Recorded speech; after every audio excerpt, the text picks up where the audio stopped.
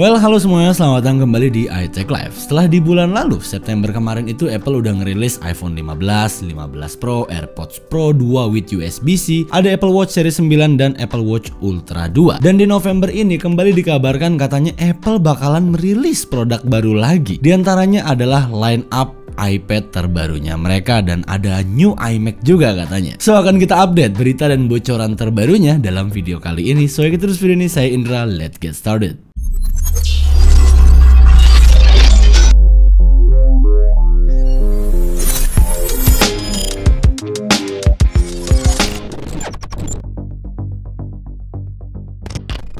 Oke, jadi memang dari awal bulan Oktober itu udah ramai banget diperbincangkan ya di luar sana. Yang mana katanya di bulan Oktober ini Apple bakal menghadirkan refreshment untuk iPad line up-nya mereka di antaranya ada iPad Air, iPad entry level atau kita sebut juga iPad for student atau base modelnya. Dan juga katanya iPad mini nih bakal dirilis ke generasi ketujuhnya. Setelah terakhir itu generasi ke-6 dirilis di tahun 2021 jadi udah 2 tahun. Dan katanya juga Apple bakal nge-refresh untuk Apple Pencilnya mereka dan kita akan breakdown satu persatu. Kita mulai dari iPad Air-nya yang mana harusnya tahun ini itu adalah generasi yang keenam ya. Terakhir kan dirilis itu 18 Maret 2022 kalau gua nggak salah. Itu berarti iPad Air generasi kelima dirilis pada Apple Special Event ya karena ya di bulan Maret atau April. Nah, kalau kita lihat di bulan Maret April 2023 ini tidak ada iPad Air generasi ke-6 so that's why banyak yang meributkan perihal iPad Air generasi ke-6 bakal dirilis di bulan Oktober 2023 2023 ini. Seperti pada Apple October Event di tahun 2022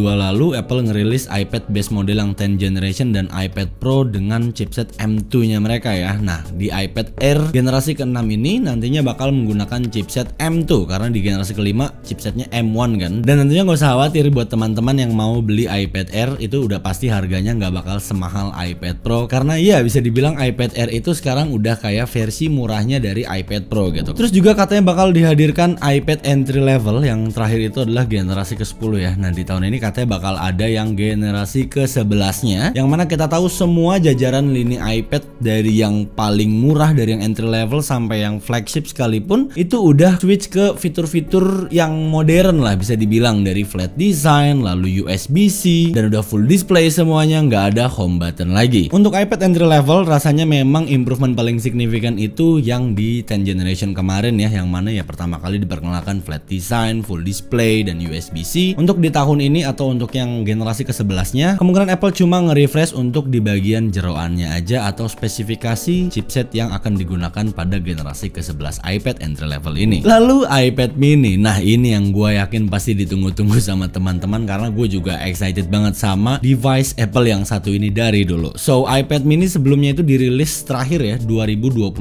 September. Jadi udah 2 tahun dan kalau kita ngeliat dari generasi generasi-generasi sebelumnya juga cukup ngacak ya patternnya jadi agak susah untuk ngebacanya. Dan menurut dari report account yang bernama Instant Digital katanya iPad mini 7 generation di tahun 2023 ini bakalan punya empat perubahan jika dibandingkan dari seri yang generasi ke-6-nya yang pertama adalah chipset yang digunakan. Ya iPad mini 7 generation katanya bakalan dibekali dengan chipset A16 Bionic. Ini adalah chipset yang tertanam di iPhone 14 Pro atau iPhone 15 base model tahun ini. Ya ya ya memang gua sendiri pun mengharapkan kalau ah coba chipset M series Apple masuk di iPad mini gitu kan. Jadi biar yang entry level aja dapat A16, A15 gitu. Cuman kalau dipikir-pikir ya dengan layar semungil iPad mini apakah bakalan overkill banget untuk chipset M series Apple diimplementasikan dalam body kecil iPad mini. Jika kita bandingkan dengan iPad mini yang 6 generation di tahun 2021 yang mana masih menggunakan chipset A15 Bionic so berarti dengan upgrade satu tingkat di atasnya, improvement pada iPad mini 7 generation bakalan ngedeliver 10% better performance, 50% more GPU memory bandwidth, dan juga bakal menghadirkan new image processor atau ESP jika dibandingkan dengan generasi sebelumnya. Selain chipset juga katanya front kamera and rear kamera juga bakalan di-upgrade sama Apple nih. Di mana sebelumnya iPad mini punya spek rear kamera di 12 megapiksel, f1.8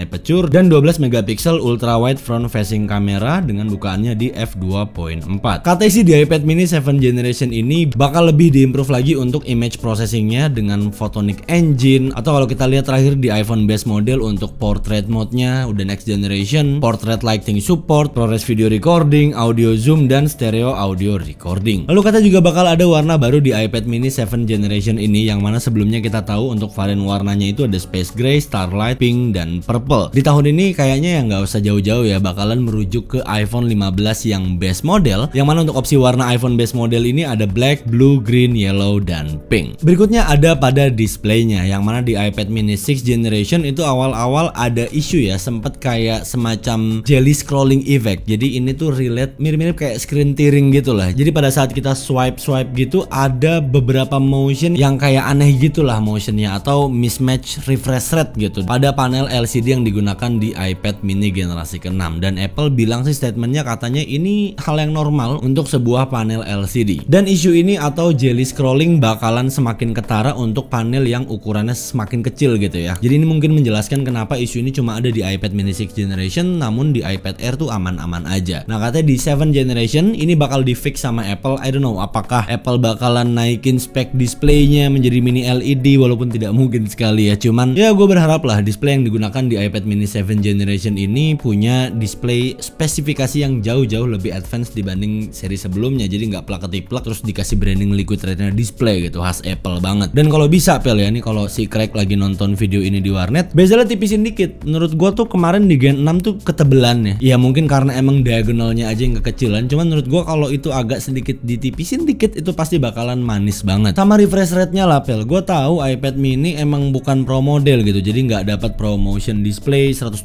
Hz refresh rate. Entah kenapa gaming di iPad mini tuh enak banget Pel. Serius nggak berat terus digenggamnya juga enak banget di tangan. 90 lah tengah-tengah gitu nggak 120 gitu. Atau enggak ya 6 67 lah 68 jangan 60 gitu. Jadi biar teman-teman di luar sana dan saya juga gitu ya kalau lagi gaming dengan iPad mini itu akan semakin mantap lagi untuk experience-nya. Dan tentunya iPad mini 7 generation itu gue tahu banget kenapa ditungguin sama teman-teman di luar sana. Karena ya selain ukuran yang compact dibawa ke mana-mana enak dan harganya ini cukup cukup menarik sekali gitu. Untuk startingnya itu di 7 jutaan ya 7 jutaan terus lanjut di 256 di 9 jutaan. Ya paling mahal tuh belasan ya relatif ya. Kalian pilih yang wifi only atau wifi plus selular so ya jujur saat awal gue denger rumor soal iPad mini 7 generation yang katanya bakal dirilis Apple dalam waktu dekat ini maybe di bulan Oktober ini gue excited banget. Selain per iPad iPadannya Apple juga katanya bakal nge-refresh untuk Apple Pencilnya. Nah dikabarkan juga katanya bakal ada Apple Pencil generasi ketiga yang di tipnya itu sekarang bisa diganti-ganti dan katanya tuh interchangeable-nya tuh kayak pakai mekanik gitu. Tujuannya apa bisa digonta-ganti kayak gitu? Kalau kita lihat bocorannya dari Majin Bu katanya Apple bakal menyediakan tip khusus untuk technical drawing dan digital painting. Well jujur gue sendiri nggak terlalu into banget dalam dunia ini gitu ya. Mungkin teman-teman di luar sana anak-anak desain grafis ilustrator mungkin ya lebih paham dengan jenis-jenis tip ini ya. Walaupun gue mencium bau-bau dijual terpisah ya tapi kalau dijual terpisah sumpah lu jahat banget sih pel Gak usah lah cuan mulu. Ya semoga aja nantinya kita beli Apple Pencil generasi ketiga. Itu udah include berbagai macam tip yang sebelumnya dirumorkan sama Majin Bu ini Untuk berbagai keperluan gitu ya. Dan gak cuma Apple Pencil Gen 3 ya Katanya juga Apple bakal memperbarui Apple Pencil generasi pertamanya mereka Yang mana ujungnya itu kalau dicopot lightning ya Katanya Apple bakal ngeluarin untuk yang versi USB-C nya Jadi ujungnya itu ya udah USB-C Tidak ada lagi ritual aneh di iPad entry level kayak kemarin gitu. Jadi kemarin di iPad generation itu udah USB-C sedangkan iPad entry level itu cuma support Apple Pencil Gen 1 jadi ngecasnya itu Apple Pencil Gen 1 yang Lightning terus ada adapter lagi ke USB-C baru dimasukin ke iPadnya. Ribet sendiri kan lu pel? Jadi untuk kali ini udah bener mendingan lu refresh deh tuh Apple Pencil Gen 1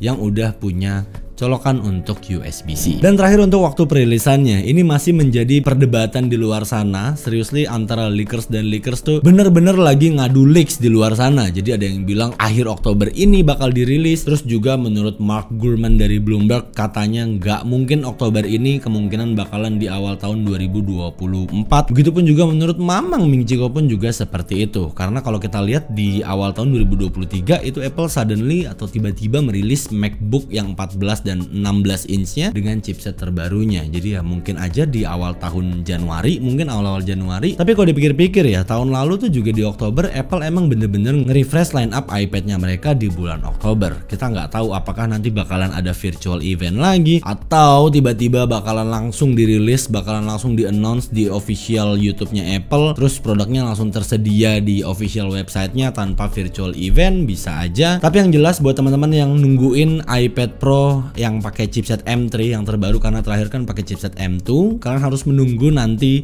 pada saat chipsetnya tuh udah dirilis ya. Karena chipset M3 itu belum dirilis sama Apple, kemungkinan bakal di sama Apple di pertengahan tahun 2024 atau pada event WWDC 2024. Baru setelah itu chipsetnya bakal ditancepin di new iPad Pro terbarunya mereka. Jadi untuk di akhir tahun ini akan sangat aneh banget kalau tiba-tiba bakalan muncul iPad Pro dengan chipset M3 sedangkan ya you know lah Apple tuh pasti selalu memperkenalkan chipset M series terbarunya mereka di event WWDC mereka. Tapi tenang aja dalam waktu dekat ini gua bakalan pantau terus berita ini dan kalau misalnya ada updatean terbaru gua pasti akan bikinin updatean untuk kalian so make sure untuk subscribe buat kalian yang belum ya karena biar selalu up to date tentunya dengan berita-berita terbaru seperti ini atau video tips, trik, review dan lain-lainnya dari iCheck Live. Dan silakan juga nih komentar di bawah mungkin buat kalian yang kemarin skip lah iPhone 15 15 Pro. Gue lebih menunggu iPad entry level kah atau Air kah atau mungkin mini yang memang udah 2 tahun ini kita tunggu untuk next generation ya atau untuk